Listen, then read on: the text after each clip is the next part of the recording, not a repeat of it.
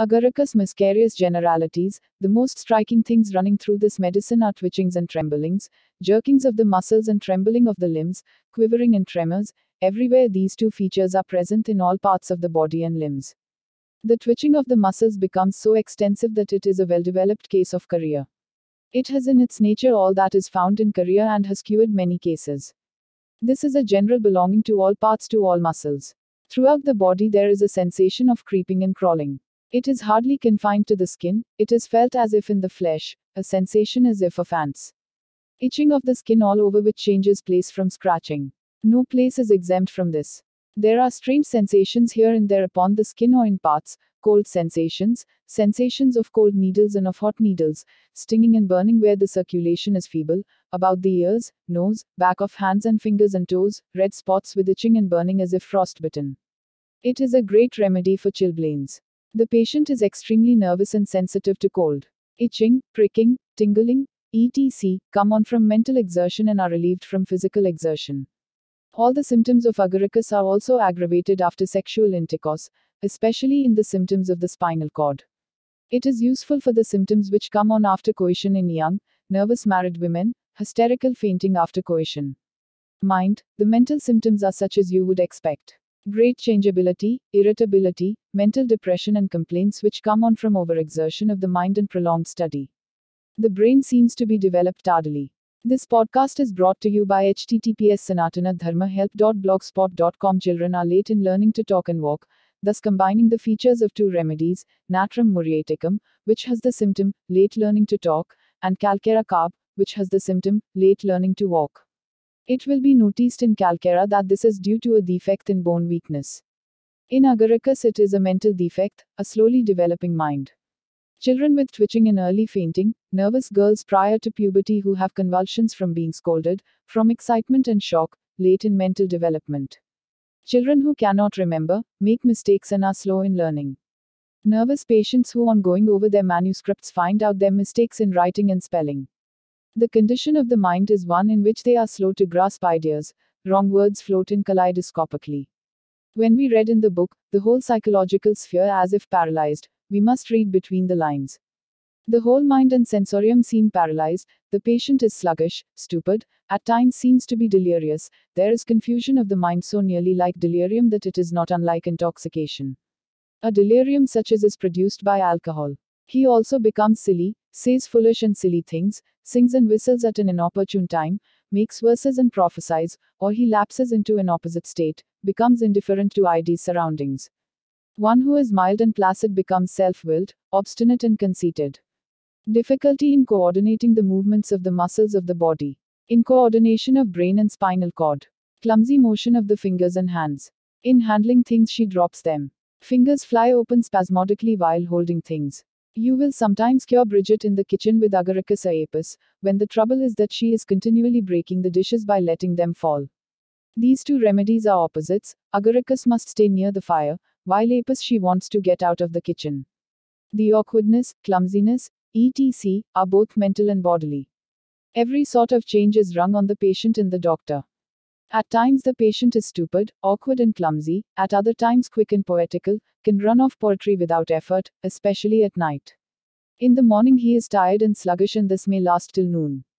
The mental symptoms are worse in the morning and are relieved towards evening. All jerkings and twitchings subside during sleep. There is vertigo when walking in the open air. He is always chilly. On undertaking to do something, he does the opposite. Vertigo and confusion of mind are mixed up head, it is a common feature for the headaches of this remedy to be associated with the spinal symptoms, the quivering and jerking. Headaches in spinal patients. Pain as though sharp eyes touch the head, or as if from cold needles. That is general, we find it in other parts. Pain in the head as if from a nail. There is some bleeding in the morning, and the blood is thick, black, and will hardly drop. Coldness in the head. In the scalp, there are all sorts of queer sensations icy coldness after itching or scratching that runs all through the body. There is itching, although no eruption is visible, can't let it alone, and after scratching, there is a sensation of icy coldness in the part or as if the wind was blowing on it. The head is in constant motion as in chorea. Itching of the scalp, especially in the morning on rising. There again we have the general aggravation in the morning. There are marked eruptions on the scalp. Eczema with crusts. Eyes, twitching and jerking of the eyes. You will observe this about the agaricus eyes. As the patient looks at you, there is a pendulum like action of the eyes. They go back and forth all the time, they oscillate, though he tries his best to fix his look on you. This stops only during sleep, all the motions subside during sleep.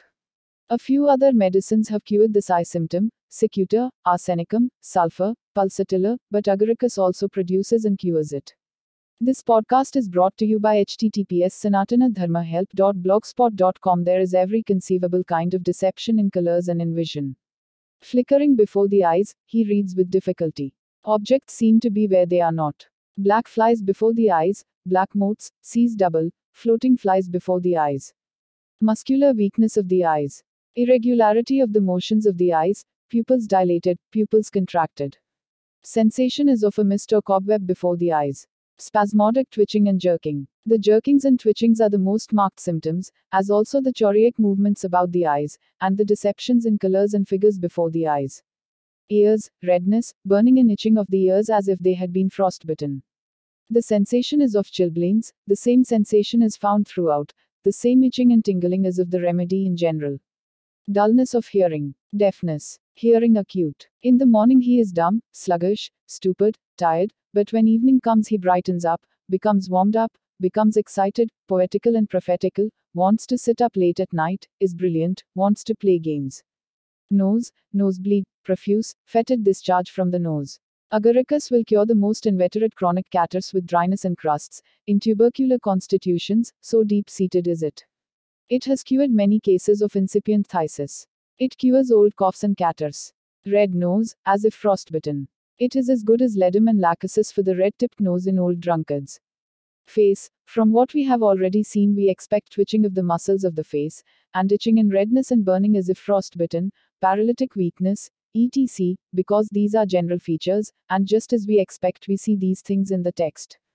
Choreic spasms. Expression is of idiocy. Now notice this some patients, when going on with their own usual vocation, are pretty smart, but if you put some new idea before them, something not in the routine of their work, they are perfectly idiotic. This is especially noticeable in the morning. He can't take in anything new in the morning, but he is able to take in new ideas and is bright in the evening, like the effect produced by tea and coffee and alcoholic beverages. This remedy is a great antidote to alcoholic beverages. In this remedy and in zincum, the spine is affected, and both of these have aggravation from stimulants. Agaricus has cured many cases of epileptiform convulsions, more commonly the hysteroepileptic type with frothing of the mouth, opisthotonos, drawing of the muscles of the face. The agaricus patient has spells in which a little muscle of the face or a few fibers of a muscle will quiver for a few minutes and stop, and then in another part of the face the same thing, an eyelid will quiver, and then another set of fibers, sometimes so bad as to nearly drive him crazy. Such is an agaricus state as well as nux vomica. Mouth, the teeth feel too long and are sensitive to touch. The tongue quivers, twitches, jerks and causes disorderly speech, articulates violently. Tongue, dry, tremulous. Learns to speak with difficulty. Spasms of the tongue, inarticulate speech. Phagedenic ulcer on the frenum of the tongue, eats it away. Soreness of the tongue. Mercurial aphthae in roof of mouth. Little white blisters like nursing sore mouth. Chronic sore throat. Induration of tonsils. Burning thirst, ravenous appetite. Gnawing in stomach as if from hunger, without desire for food. Abdomen, flatus, distressing belching, great tympanites, rumbling, turmoil in abdomen. Offensive flatus, rumbling and gurgling in belly. Everything ferments, rumbling and loud rolling, pinching colic. Horribly fetid discharge. Tympanitic condition marked in typhoid, low type of typhoid, trembling and jerking of muscles, paralytic weakness, emaciation, mental symptoms. Morning diarrhea, great deal of hot flatus aloe. With burning in the rectum, soft stool, great tenesmus, urging to stool violent, involuntary straining before, during and after stool.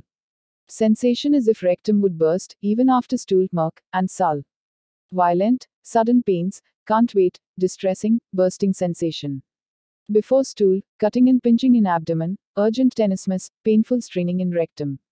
During stool, colic and passing of flatus, burning, soreness, smarting and cutting in anus, sweat, pain in loins to legs, continuing after stool.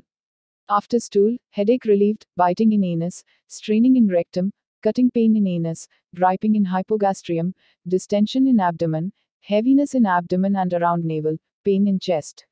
Emphasize the tenesmus after stool. May have constipation and paralytic feelings of the rectum, stool hard, straining its stool as if life depended on it and yet no stool. This podcast is brought to you by https sanatanadharmahelp.blogspot.com.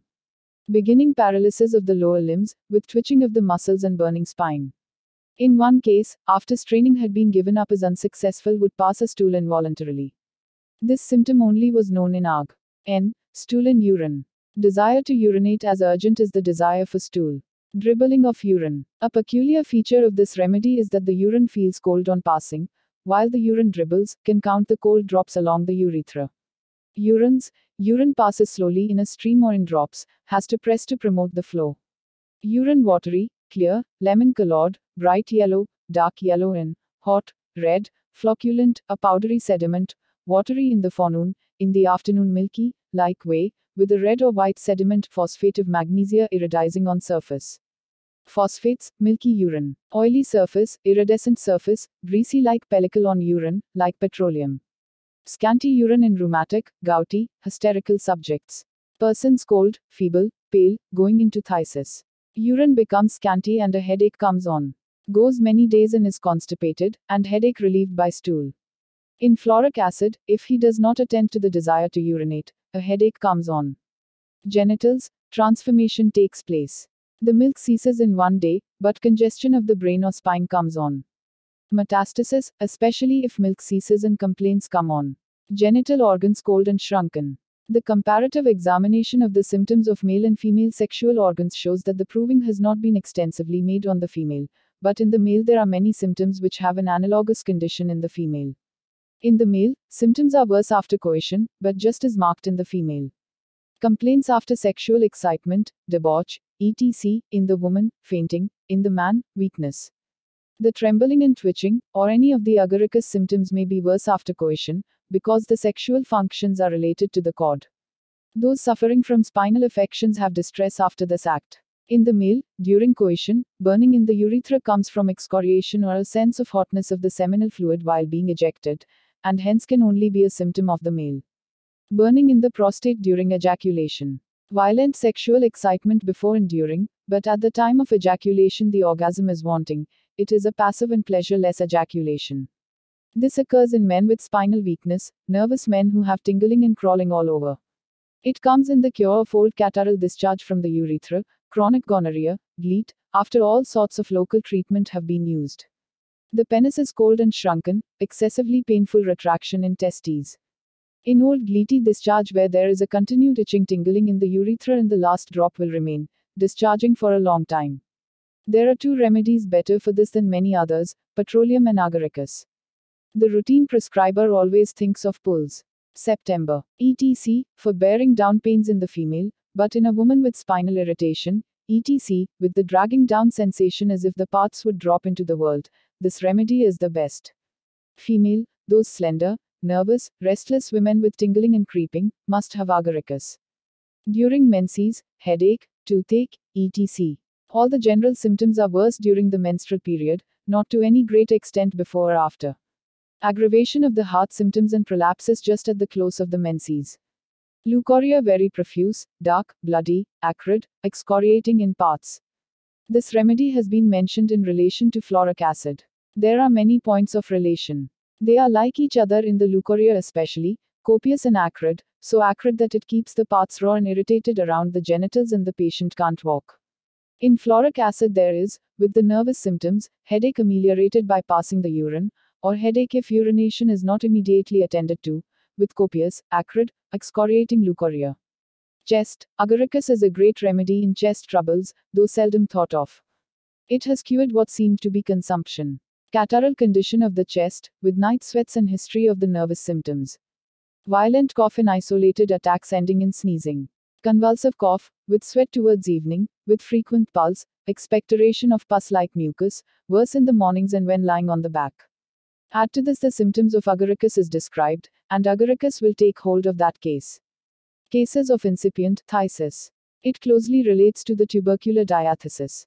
I remember starting out to prove tuberculinum on an individual I suspected would be sensitive to it from his history and symptoms. The first dose almost killed him, and, considering the use that that substance is put to in diagnosing the disease in cattle, it seemed to stir him up. He became emaciated and looked as if he would die. I let it alone and watched and waited patiently, and the symptoms of agaricus came up and established the relationship between these two remedies, and confirmed Hering's observation of the relationship of agaricus to the tubercular diathesis. Agaricus cured him and fattened him up. Heart, the remedy is full of nervous palpitation, worse in the evening.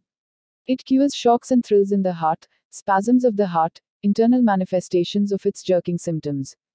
These shocks come from sudden noise, from eructations, on coughing, when lying on the left side or back, worse at night, during fever, they often extend to other parts, as to abdomen or back or limbs. On the outer chest, there is tingling and creeping as in general. Back, the back has many peculiar and general guiding symptoms. Stiffness of the whole spine. Feeling as if it would break when he attempts to bend. Feels as if something is so tight that it will break when he stoops. Tightness in the muscles of the back. Tingling deep in the spine. Violent, shooting, burning pains. Pain along the spine, worse by stooping. Pains of all sorts in the spine. Pains go up the back and down the back. Sensitiveness of the spine to touch, especially in the back of the pec and dorsal region between the scapulae. Sensitive to a hot sponge in the lumbar region and spinal irritation. Sensation as if cold air was spreading along the back like an aura epileptica. Sensation of eyes touching the body. Cold spots. Chilliness over the back, crawling, creeping, and formication. Numbness of skin over the back. The most of the pains are in the back of the neck and the lumbosacral region. Pains in this region in connection with coition. Pain in the lumbar region and sacral region, especially during exertion, sitting, etc. Pain in the sacrum as if beaten, as if it would break. Pains below the waist in women. Limbs, in the limbs in general there are twitchings, they are numb, choreic, burning here and there, cold feelings in spots, paralyzed. Trembling of limbs, hands, awkwardness of all the movements rheumatism and gout of joints, paralysis of the lower limbs, trembling and weakness of the lower limbs, burning itching of the hands as if frozen. In the smaller joints, where the circulation is feeble, there are frostbite symptoms. Toes and fingers stiff. Bones feel as if they would break during rest, especially in the lower limbs. Feeling as if the tibia would break. Aching in the tibia. Growing pains in children and they must sit at the fire or the extremities will get cold. Pains in the bones. Weight in the legs. Pains in the lower limbs, aching, stitching, tearing, better from warmth and from motion. Paralytic weakness in the lower limbs soon after becoming pregnant. This comes with every pregnancy and she must go to bed. The symptoms may lead to agaricus. Weight in the legs. Legs feel heavy. Trembling and jerking motion in the lower limbs. This podcast is brought to you by https sanatanadharmahelp.blogspot.com.